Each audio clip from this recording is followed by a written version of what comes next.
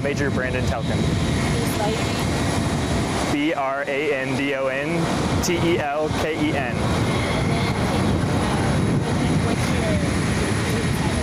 I'm uh, assistant duty, assistant director of operations for the Triple Nickel.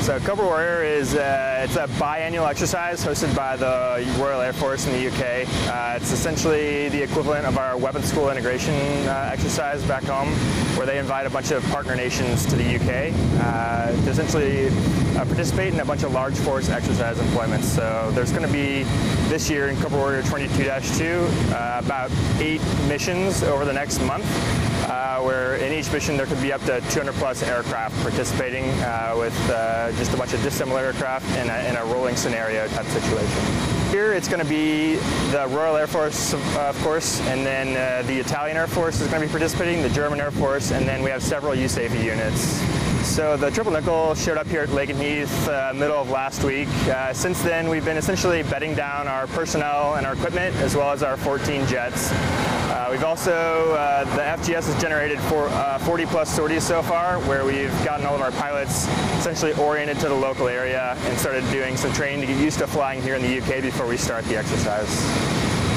The 31st Fighter Wing has about 300 people right now deployed to the UK uh, between here at RAF Lakenheath and then also at RAF Leeming. So the 56th Rescue Squadron and uh, Rescue Generation Squadron is up there. They have uh, about 50 to 60 people and then we have about 250 people stationed here to support our 14 jets for the 555th Fighter Squadron. Uh, I'm personally really looking forward to getting a lot of uh, good training here that we can't necessarily get back home station, which includes a lot of flying with dissimilar aircraft, partner nations, and then just the large force employment itself. Flying with that many jets in the same airspace is really a unique opportunity. It's going to be, I'm really looking forward to that. But I'm also, uh, outside of that, really looking forward to kind of immersing into the UK's military aviation culture. They have a really uh, rich history here, uh, and I, I'm looking forward to getting to know some of their traditions and working with their pilots.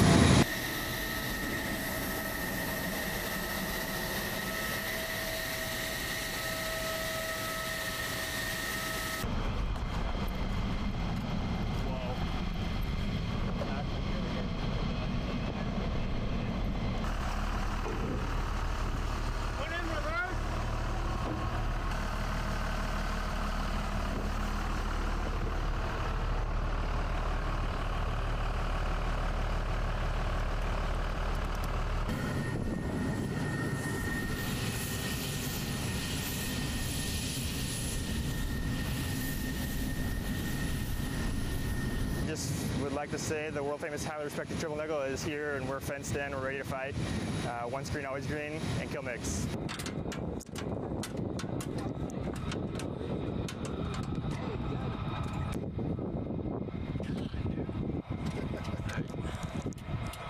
Dude, it's gonna be...